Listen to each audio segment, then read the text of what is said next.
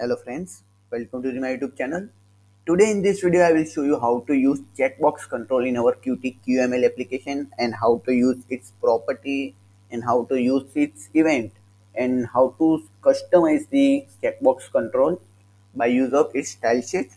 So let's start. So import the first of all Qt quick controls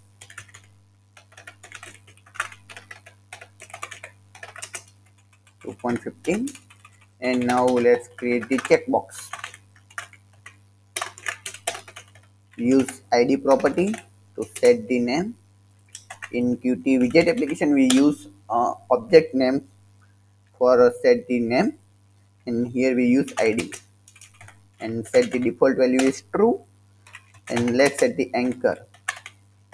Display our combo box uh, checkbox in center of our application let's set the width 400 and let's set the height is 100 now let's run the application.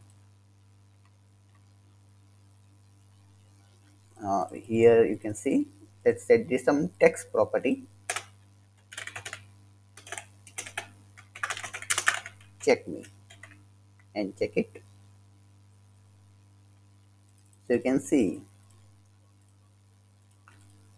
now let's create the uh, on check event. On check change event. Print the message. console.log checkbox status. Use check property. Now let's run the application and see it so you can see the status. So by this way you can easily create the a checkbox control. And now let's some style sheet on it. So let's set the first background style sheet. Let's set the border and also set the border color.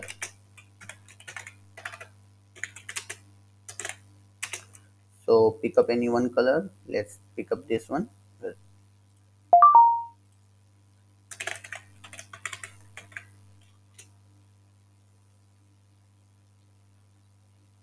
So you can see the property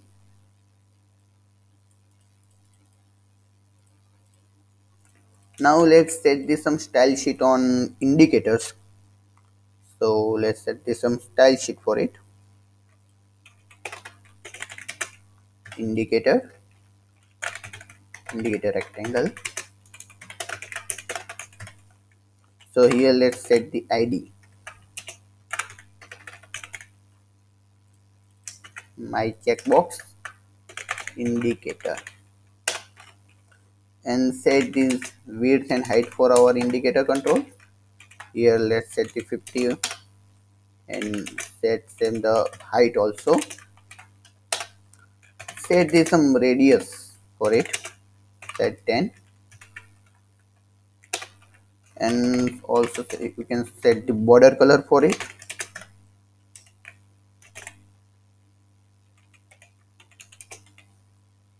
so pick up any one color. Let's select this one.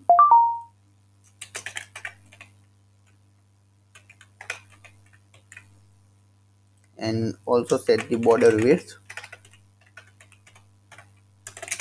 Mm, 3 and set the position.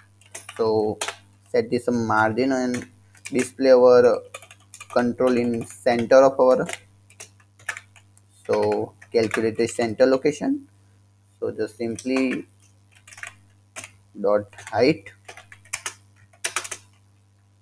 minus our combo box indicator checkbox indicator height and divide by 2 so by this way you can easily get the center point of a vertical center point. Now set the rect property on it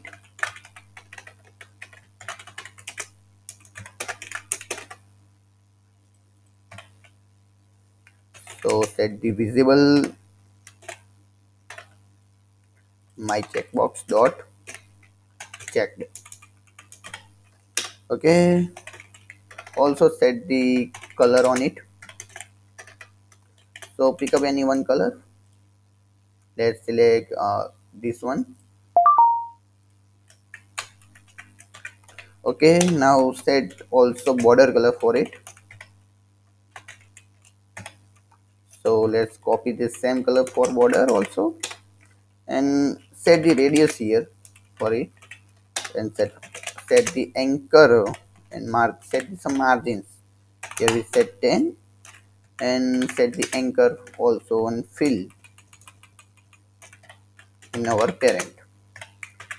Okay now let's run the application. So you can see the style sheet of our indicator control you can see this, this one is the our border color of out of outer rectangle and inner color is our child rectangle. So let's change one more color.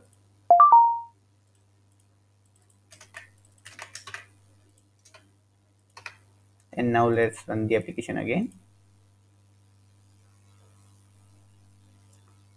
So you can see the indicator with different color now let's set this some text property or text style sheet on it.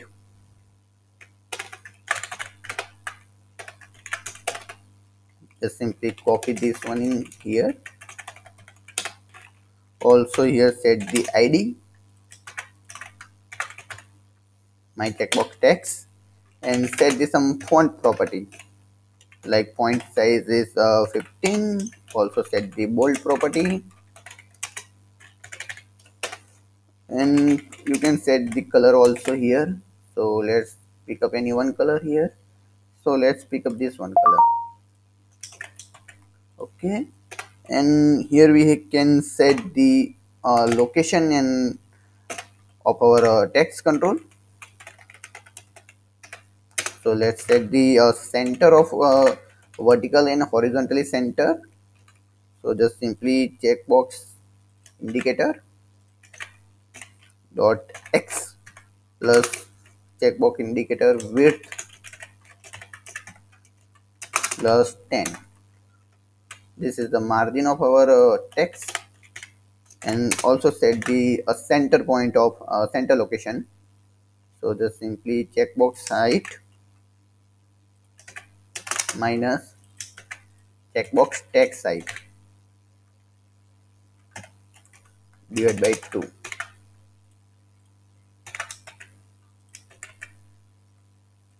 now let's run the application.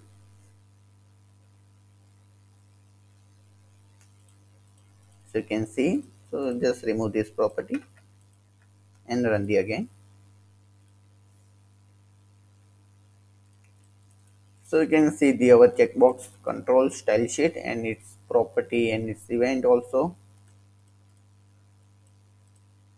So by this way you can easily create the checkbox control and set its property and also you use the events and set the indicator and background rectangle style sheet by this way. So please drop your drop your comment if you have any questions and please like this video and press the bell icon to get the notification of new video and subscribe to my youtube channel and share this video with your friends. And thanks for watching my video. Thank you